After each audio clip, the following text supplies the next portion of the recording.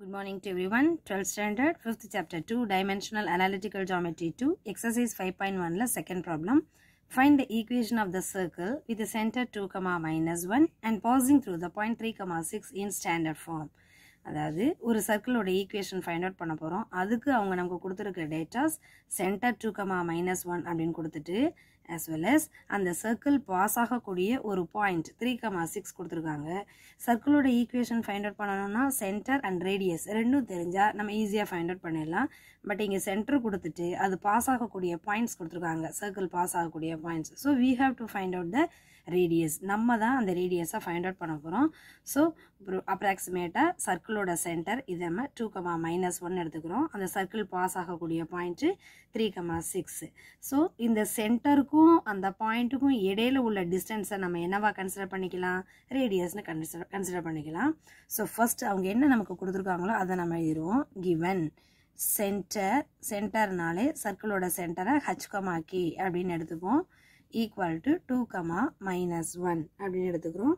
And இது எந்த point வழியாக பாஸ் ஆகுது? Passing through three comma six அப்படின்னு எழுதிப்போம்.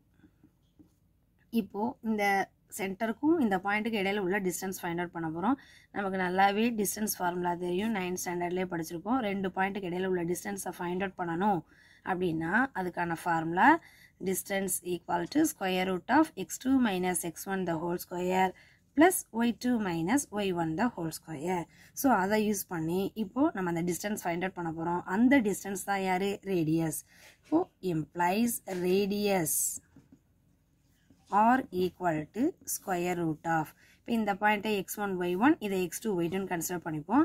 X two minus x one அப்படிங்கும்போது three minus two the whole square plus y two minus y ஒன்னா six already இங்கே ஒரு மைனஸ் இருக்கனால ப்ளஸ் ஒன்னாக மாறிடும் whole square equal to square root of three minus டூனா ஒன்று ஒன்னை. ஸ்கொயர் பண்ணால் ஒன்று தான் வரும்.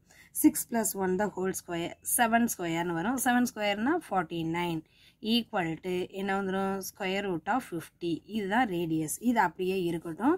அடுத்து நம்ம யாரை ஃபைண்ட் அவுட் பண்ண போகிறோம்னா ஈக்குவேஷன் ஆஃப் சர்க்கிள் ஏன்னா நமக்கு சென்டரும் தெரியும் ரேடியஸும் ஃபைண்ட் அவுட் பண்ணிட்டோம்.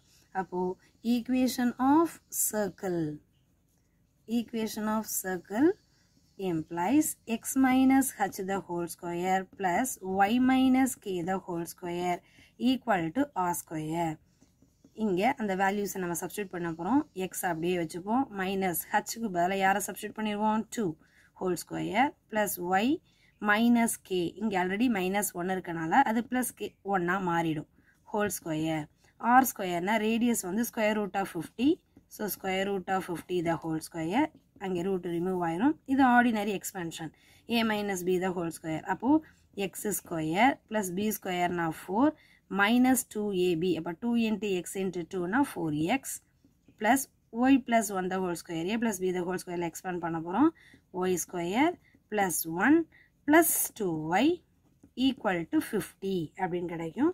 இதை ரீஅரேஞ்ச் பண்ண போகிறோம் x square plus y square minus four x plus 2y plus 5 minus 50 equal to 0 again நம்ம simplify பண்ணி x square plus y square minus 4x plus 2y minus 45 equal to 0 is the required equation of circle circle short ஆயிட்டு okay இப்போ இதோட stop பண்ணாலும் okay or otherwise expand பண்ணி இப்படி simplify பண்ண எழுதினாலும் ஓகே தான் தேங்க்யூ